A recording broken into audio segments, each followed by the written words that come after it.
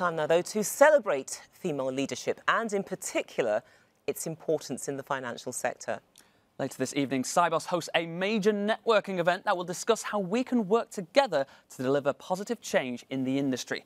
Well, joining us now to explore this in more detail are Jacky Fox, Europe leader Accenture Security at Accenture, uh, Gráinne Edmonds, UK Head of Sales and Relationship Management for Financial Intermediaries Security Services at BNP uh, Paribas, we're going to meet Jennifer Peve. Now, Jennifer is the Managing Director, Head of Strategy and Business Development at DTCC, and Priya Bajoria, who's the Senior Vice President, Head of Financial Services North America at Publicis Sapient. Let's take a breather, guys. Let's just take a breather. Let's take it all in. We've got a nice full studio. Thank you so much for your time joining us on Sibos TV. And congratulations. and of course, congratulations. I'm going to start uh, with you, Jacky. Uh, Accenture's recent research stated women make up to 17% of security professionals. Drawing from your own experience, what will it take to bring more women into security roles? Well, I think there's a long game and a short game here in the long term, we need to make sure that you know our schooling and our education system is laying out technology and security, my area specifically, as a career that people might aspire to. But I think in the short term, we need to make sure that people who maybe haven't had a technology training background, maybe they're from a legal background, any background at all, if they're smart, we'd love them in cybersecurity. so we need to, to, to show them how they can shift, you know, from one to the other from what they're doing at the moment because there's openings for everybody. Great opportunities in cyber. Are you dropping hints in my direction? Anything's possible in this world. Gráinne, you've been on a really interesting journey because you were a mentor last year on the Sibos Talent Accelerator route, now the STAR programme. So yeah. what is the importance of mentorship in actually developing women in the financial industry or indeed any other? Because the, the complaint we often hear is that there aren't enough mentors around. Yeah, so the STAR program is well worth participating in. So for anyone looking in to think, will I do it as a mentee or a mentor? Absolutely valuable, a great way to connect. And so at BNP Paribas, we, we field candidates every year for that and will continue to do so. I think mentorship is very important and I'm sure everyone here on the panel will agree with that. And, you know, I, I think back something that I took five or six years to figure out, if you can pass that on, that learning to the next generation coming through and they learn it in a few months, then seeing that acceleration and that we're not just repeating the cycle, each generation of women coming through, but, you know, that that progress is happening is great. So I would say, you know, mentorship can take different forms, can be for different reasons, can be personal. You know, I'm a mother, I've got a child with special needs. And so, you know, some, some women come up against that and, you know, passing that on, or it might be the career side of things as well. So, you know, it's not the only strategy we have, but it's a really good one for companies to adopt. Jennifer, what do you think makes an effective leader? I'm a big believer in inclusive leadership. I think it, it really accelerates the growth, the, um, the ability to innovate and someone's performance when you bring them along for the journey. You let them explore their capabilities and or their abilities and their key skill sets. And um, it also just drives diversity of discussion. So you get a lot of different opinions doing that. You offer the employees the ability to lead themselves. Um, and I think it's just ultimately very beneficial not only to the individual but to the team as well as the organization. Mm. But, but Priya, just broadening this out, there does appear to be a bit of a, a talent crisis in the sector. So from, from your perspective as a woman who's succeeded, what do you think that the financial services industry has to do to bring in gender equality to address that crisis so that women can feel that they're part of the change, part of the journey, that they can open the door for others? Um, I think you said it right. Talent crisis is one of the biggest challenges facing the industry today. And if we look at it in two parts, the first part is how do we bring more people into the industry, especially people who haven't traditionally considered financial services roles. Um, and then the second part is how do we reskill the people that we already have because it's a very dynamic industry and we have to stay abreast. So if you look at the first part, Sapient conducted uh, a research recently with 1,000 banking professionals globally, and ab only about a third of our organizations we surveyed said that e diversity is even something that they are committing to. So I think we have a long way to go in terms of opening the aperture um, to the point we were making in terms of bringing in more people with non-traditional backgrounds into financial services. And I think technology can be a key enabler for the second part, which is democratizing the learning process and making, you know, like Netflix of learning available so that everybody can keep changing, keep learning, um, and, you know, expanding their mindset. And I think financial security uh, comes um, with, with that job security and gender equality. Uh, you know, Queen Maxima spoke about it uh, on the first day of Sibos that we have to design products and we have to educate um, people who are not investing in financial products so that we can bring in more wellness. And I think as we bring in more people into the industry, we have to make sure they're saving well um, and we educate them leveraging technology. Jacky, we could quote statistics all day long about how we're falling short in, in gender equality. Like the problem is there, but there are, there are business incentives also to solve it, but many problems fail. Uh, many, pro many programs fail. Uh, what do we need to do differently, do you think? Well, I think firstly, it's really important that the gender balance we have, you know, at all levels in, in all industries uh, reflects society. And if they don't, then we're not going to be doing things right. We're going to be missing an important voice in the room.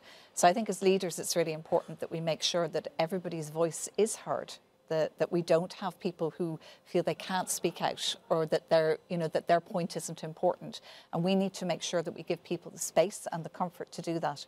We're trying to go with gender diversity at 50-50 across all levels by 2025 in Accenture, which is a huge and lofty ambition. And we're really beginning to get there. Like, you know, we, we, we're doing it at all the more junior levels, kind of some of our senior levels, we still have to do work, but we've got things in place that are making that happen around how we promote um, and around how we're training and the opportunities that we're giving people. So, you know, it can be done. I really believe it can be done.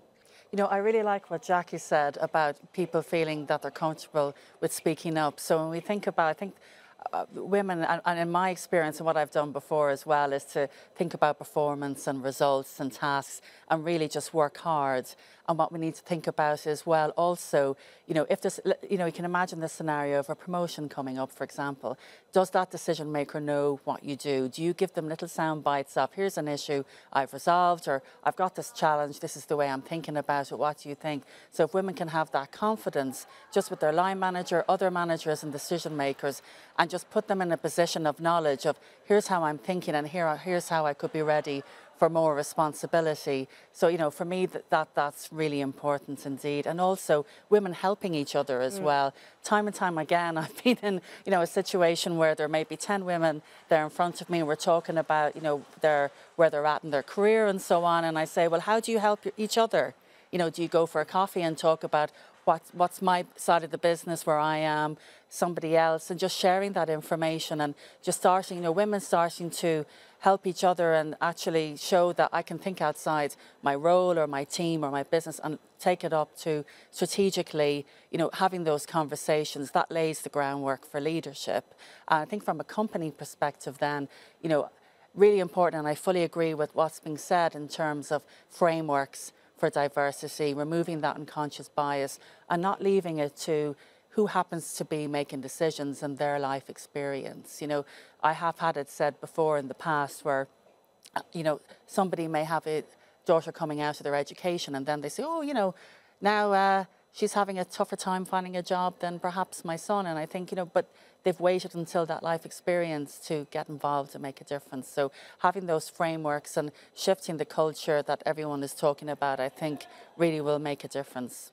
Jennifer, coming off the back of Gráinne's point there, putting someone in a position of knowledge, helping each other out, uh, what piece of advice would you give women who are entering or thinking of entering the financial services industry? I think the two of the, the most important skill sets you could have is um, the ability, just continuous learning, right? That desire to continuously take in information and knowledge. And the second piece is um, is around just active listening. And so I always encourage um, you know, women on my team to you know, invoke that curiosity, ask the questions and then question the answers. The more that you learn, the more that you um, listen, you both grow professionally as well as personally, and that will help, you know, with your career overall, regardless of the job you have. Mm. So, Priya, Jennifer's point, don't be afraid to ask questions and don't be afraid to explore your curiosity. What advice would you give to a young woman who says, Priya, I'm really tempted to go into financial services, but mm, I'm not so sure because I, I, I don't think I'd be welcome. What would you say to her? I'd say we need your perspective and we need a different perspective from what we are used to in the status quo. Over the weekend, I was at the Van Gogh Museum, um, and one of the things I noticed as I was listening to what they were saying, Van Gogh had a different way of looking. If you look at his self portraits, no two self portraits are alike even playing around with the color of the eyes, uh, he would bring in emotion, expression, eventually leading to a masterpiece. And it's time we brought in some different points of view into the industry if we are looking at customer first innovation. The other thing I, I heard this morning, which really resonated with me, was Cathy Bessant's session. And she said, if you have to succeed in financial services, you need trust and you need relationships. And that takes a lifetime of building. Uh, and so I, my advice would be let's start doing that now, um, and that will hold you in good stead through your career. And one thing we, we use in Sapient is the acronym SPEED, which is strategy, product, engineering, experience, and data. And to Jen's point on you know, having a learning mindset, if you come from a strategy or a product background, it's time that you learned more about engineering and data because that would really help expand the horizons. We are not looking for people to work in silos anymore. We want people to have a holistic point of view. Jacky, when you think of words like diversity and inclusion, what does it mean to you personally and what does it mean to you professionally? So, the diversity piece um, for me is about listening to every voice. Um, but the inclusion is about people having the confidence to be there the uh, and to speak up and say what they want to say. Like personally, I've been very fortunate in my career. I think I have a confident persona. So when I go into a room, I, I will make my point. I will say what I need to say. And uh, for, again, for me personally, I have three daughters actually, uh, one of whom has recently gone into financial services. And I have loved actually trying to mentor her, you know, giving her some snippets about what should you do when you get in the door. Like I said to her really quickly, find a senior woman in there and ask her what she did, give you some advice. You know, so for me, the inclusion bit is about trying to find your tribe and feeling that you're comfortable in your tribe. And people are often very willing to share as well because if you share, that person continues your legacy. That's what you gave to them. Yeah. Yes, yes. And, and, and Gráinne, in BNP Paribas, what do you think it's doing or what is it doing to uh, improve the gender balance in key roles? So it is a complex one, and there's no one, you know, solution fits all. Um, we're looking at both global level and regional level, as well as multiple levels in the organisation. So some examples are in our executive committee. Uh, Ten years ago, it was all men. It's about a third women now. We're looking at that 40% number uh, and, and, keeping going. Uh, we have a programme called Leaders for Tomorrow, and that's looking at all levels in the organisation, looking at people with good potential, uh, succession management, and we have an almost 50-50 balance there now. We're 48 women to 50, I uh, know to the 52% men, so we're almost there on that.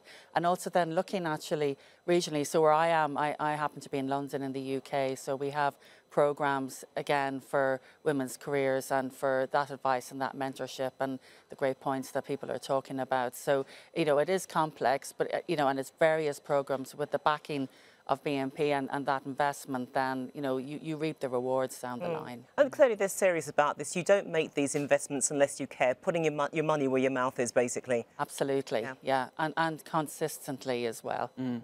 We've heard some great advice from you guys for the next generation of female ladies, but look, let's talk about yourselves for a second. Jennifer, what do you think's been some of the keys to your success of becoming a woman leader in the financial services industry?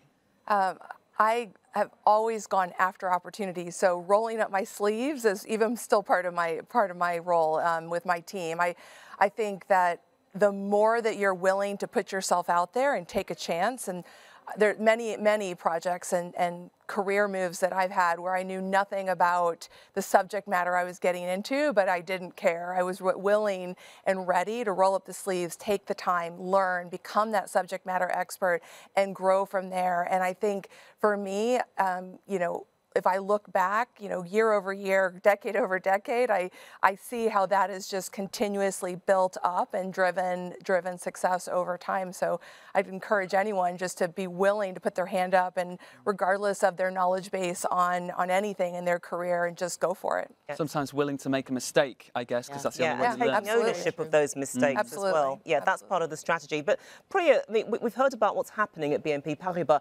What's happening at the company where you are in terms of, you know, taking positive action to further uh, diversity, equality, and of course inclusion, so that everybody, regardless of where they are, can feel that they're part of the company and ultimately part of its journey. I joined the company three years ago, and one of the first things that was said to me was understanding the purpose of the company, which is about um, helping our people thrive in the brave pursuit of the next. And that's our employees, our clients, and their end customers. And our value system in the company underpins um, our purpose. And some of the core values, which is around either uh, inclusive collaboration, engaging with openness, uh, are all part of that fabric of the company. Um, so I want to highlight two specific programs. Uh, one is on Spring, and that is about bringing women and the underrepresented genders back into the workforce. And so anybody with an engineering background or a product development background, uh, we provide that on-ramp and we provide the reskilling and the training to bring them back into the workforce. And the other, I think we spoke about the importance of mentorship, and it's, uh, relate, it's the RISE program, and uh, that is run by our champions and the BRGs in the company to help with either the advocacy um, and the mentorship, the skills development. So I think that's how we're bringing in positive change. Well, look, the good thing is that it's happening. We're having this conversation and we know that something good will emerge out of it. Structures are in place and you are paving the way for the future. And I thank you for that. I also congratulate you on what you've achieved. It's been recognised by Sibos. And hopefully we'll hook up again next year in Toronto so that you can actually update us on what's been going on. But look, thank you so much to Jacky, Gráinne, Jennifer and Priya. It's good to see you and enjoy the rest of Sibos 2022. Thank you. Thank you. Thank you.